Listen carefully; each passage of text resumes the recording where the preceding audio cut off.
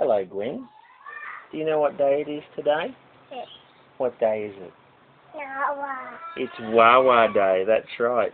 Can you say hello, Wawa? Can you say hello, Wawa?